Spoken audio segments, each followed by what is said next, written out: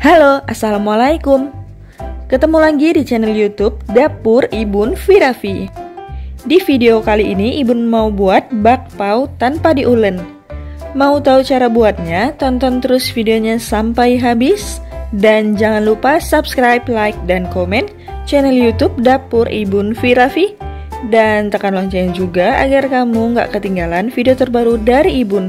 Terima kasih. Yang pertama, di sini Ibun udah siapkan 150 ml air hangat. Ini Ibun mau aktifkan raginya dulu karena raginya udah pernah Ibun pakai. Masukkan 1 sendok teh gula pasir. Ibun pakai ragi yang seperti ini, ragi instan.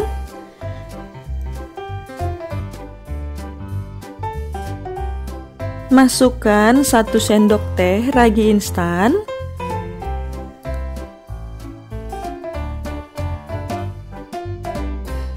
Kemudian ini diaduk sampai tercampur rata dan pastikan gak ada lagi ragi yang menggumpal.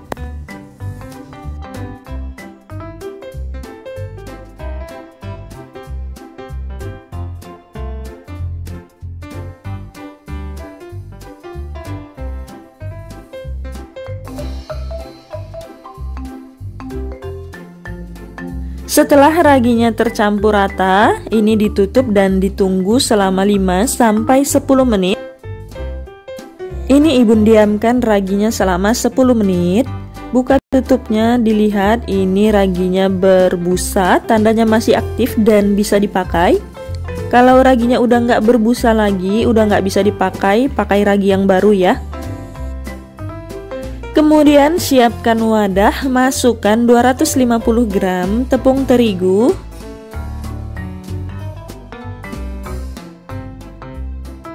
Tiga sendok makan gula halus.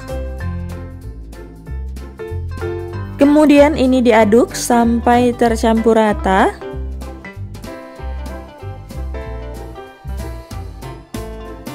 Setelah itu masukkan ragi yang udah diaktifkan tadi ini Ibun masukkan bertahap sambil diaduk.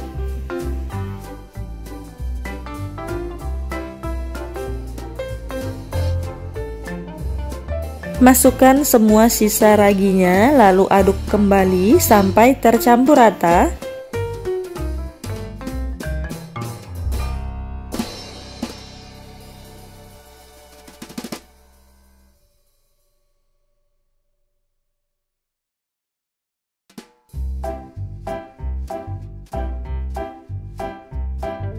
Setelah tercampur rata, masukkan 1 sendok makan mentega putih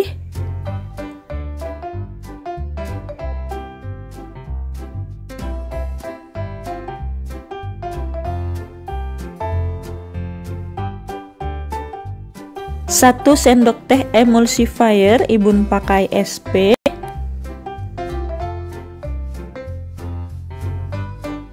Kemudian ini diaduk sampai tercampur rata.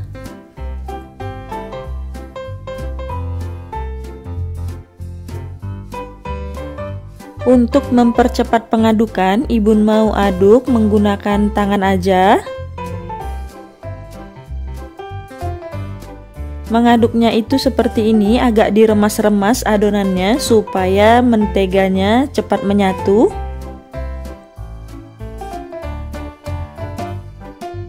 Ini diaduk sampai tercampur rata aja ya.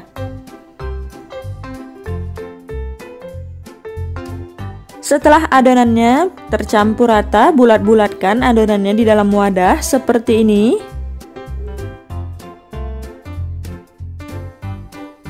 Kemudian tutup dengan kain bersih selama 30 sampai 60 menit sampai dia mengembang dua kali lipat.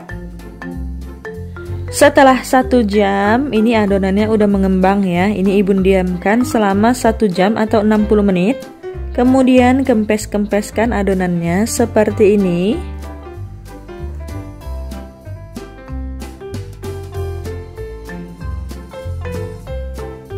Kemudian di sini ibu mau bagikan adonannya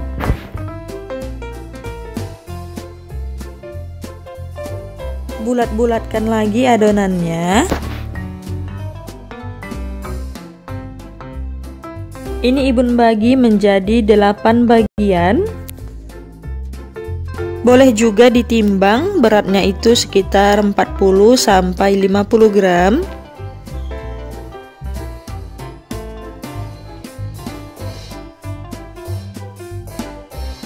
Kemudian ambil satu adonan, lalu di rolling seperti ini.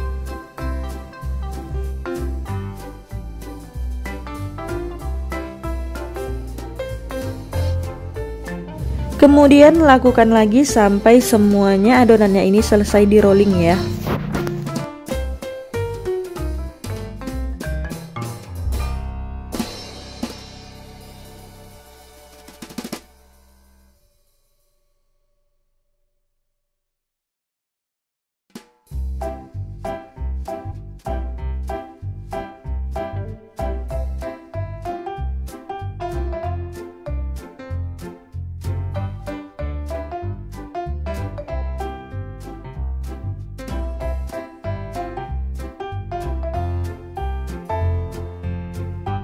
Di sini ibu udah siapkan meses, lalu ambil adonan yang pertama kali di rolling, kemudian cubit-cubit bagian pinggirannya seperti ini.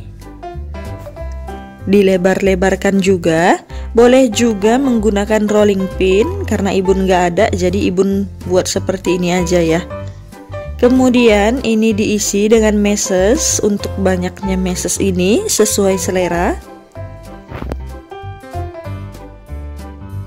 Lalu tutup lagi adonannya dan ini dibulat-bulatkan lagi ya. Ini agak dicubit-cubit sedikit supaya dia menyatu.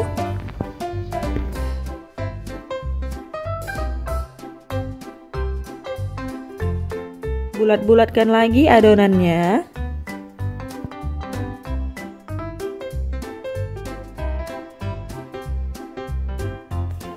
Kemudian di sini ibu pakai cupcakes atau yang biasa untuk buat bolu kukus ya.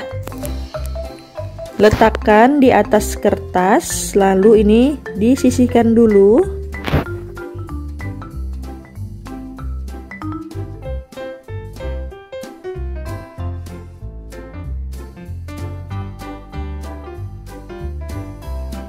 Jadi kalau adonan kalian itu terasa lengket, boleh ditaburi tepung terigu tangannya.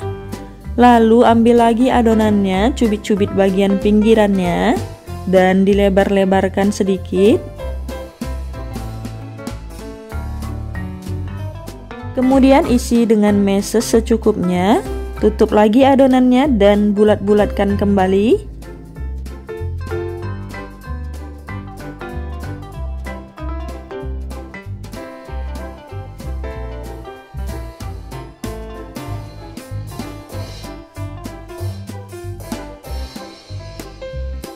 Letakkan di atas kertas cupcakes dan disisihkan dulu.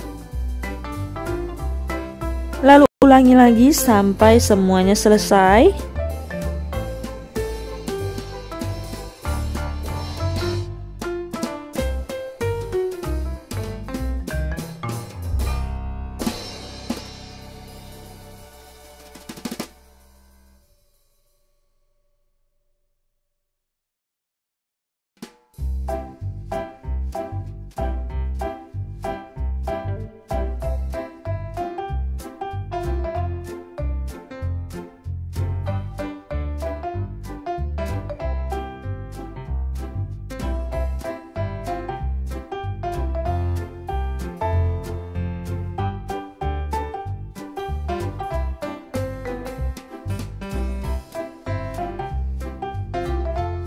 Ini udah selesai dan ini ditutup selama 15 menit dengan kain bersih sampai adonannya mengembang.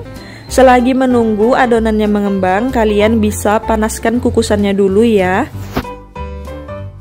Ini udah 15 menit dan adonannya udah mengembang dan ini udah siap untuk dikukus. Kemudian masukkan ke dalam kukusan yang udah dipanaskan sebelumnya.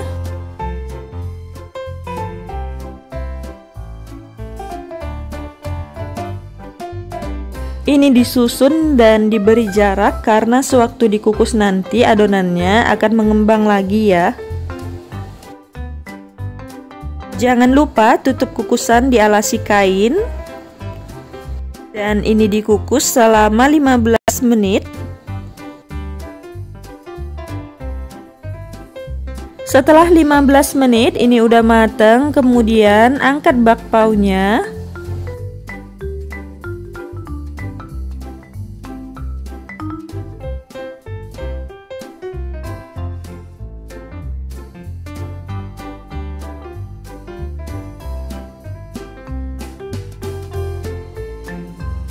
Setelah selesai diangkat, bisa langsung disajikan ya.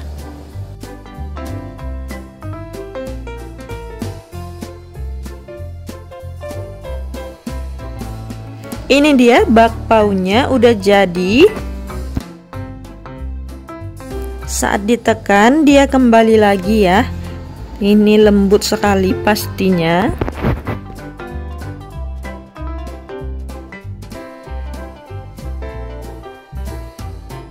Untuk bagian dalamnya itu seperti ini. Mesesnya ini meleleh Lembut sekali ya Bisa dilihat.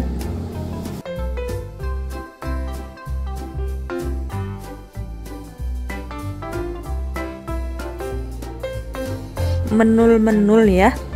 Cantik banget Ini lembut banget. Buatnya gampang Walau tanpa diulen, bakpao ini jadinya lembut sekali. Yang ini bakpaunya isinya kebanyakan dan coklatnya ini meleleh keluar. Tapi ini enak sama rasanya tetap lembut. Jadi silahkan dicoba di rumah ya Dan jangan lupa share video ini jika bermanfaat Terima kasih udah nonton video Ibun. Sampai ketemu di video selanjutnya.